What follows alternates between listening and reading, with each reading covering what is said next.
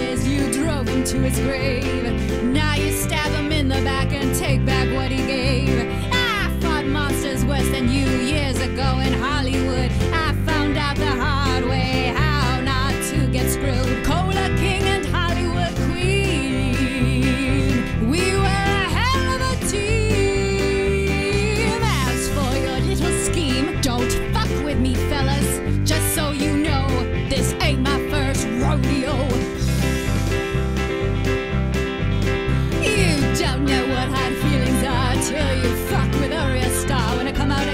shitty drink, watch your profits shrink.